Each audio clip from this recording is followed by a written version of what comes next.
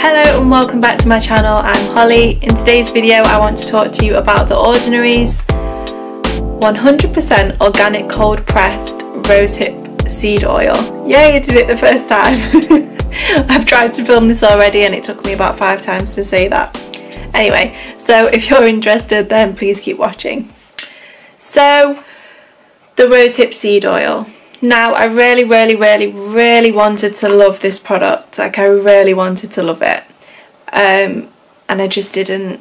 Um, and that makes me really sad. And I'm hoping that if I try it again, that maybe I will love it the second time around. But I did try it for a whole week.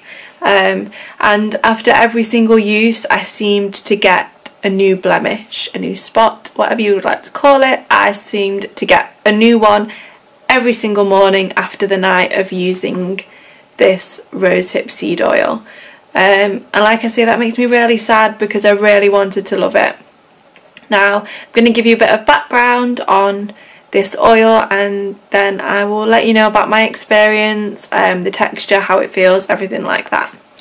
So to start with, um, the rosehip seed oil has um, natural essential fatty acids in it and um, obviously that's really good and that would be really good for your skin. Um, it's got the, uh, I can never remember this word, I'm going to have to check it, I'm really sorry. One minute.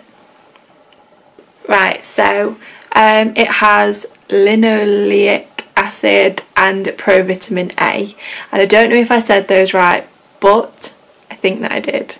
Um, and if you um, generate the rosehip oil in the usual way, which is by heat, um, that degrades all of those properties. So it basically just becomes oil and it doesn't have those properties.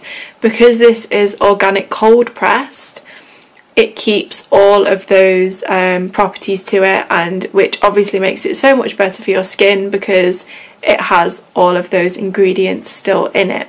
It also has a high content of omega fatty acids, which is obviously good, um, but that also um, brings a little bit of something to the smell. Now, I personally feel like this smells a little bit like vegetable oil, um, which is really nice when you're putting it on your skin.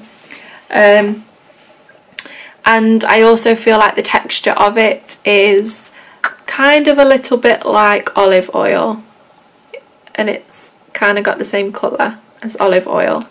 Um, I will put a little bit on my hand so that you can see. I'm only going to put two drops on because it really, you, if you do like this, it's good in the sense that a little bit goes a really, really, really long way.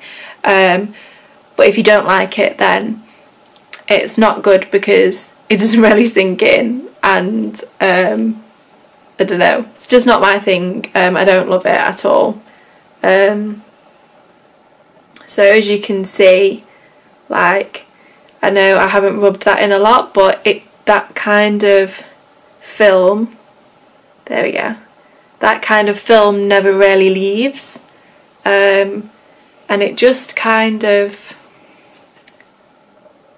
can you see that? It just has a very oily film to it um, and I kind of felt like it was just really clogging my pores right up in places that it wouldn't usually um, get clogged. Um, places that I wouldn't typically get a blemish or a spot, I was getting them. Um, and that's just, it's not really what you want. And I also felt like it had a big impact on um, the blackheads that I get on my nose. Um, it's just, uh, overall it just didn't do what I wanted it to. So it's supposed to be very very good for anti-aging and for photo aging everything like that. Um, and it probably is if you have the kind of skin whereby um, it doesn't react funny with it and you've, you're not prone to blemishes, you don't have pores, you don't have oily skin, all of that beautifulness, um, then you might really, really get on with this product it just didn't. And that makes me really sad because I really usually love all of the ordinary products and I just didn't love this one which is a shame but I don't want to tell you that I love something when I don't. Um, if you have skin like mine then likelihood is that you aren't going to like this either. Um, but you never know because everybody's skin is different. And maybe the next time that I try it, if I do, I don't feel like I'm gonna, but if I do, maybe the next time I try it, maybe I'll love it. Um, because a lot of people do, a lot of people think it's super hydrating and that it's got all of these amazing benefits and I just didn't really get any of them. Um, so yeah, I think that's all that I have to say about that product. Um, obviously it comes in the same usual lovely packaging that all of the Ordinary products come in. It's got the very nice um, pet, is that what you call them? I never know what to call them. I think I say this on nearly every video about the Ordinary products.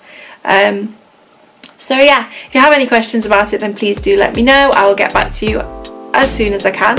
Um, yeah, so please don't forget to like and subscribe if you haven't already and I will see you next time. Thank you so much for watching. Bye!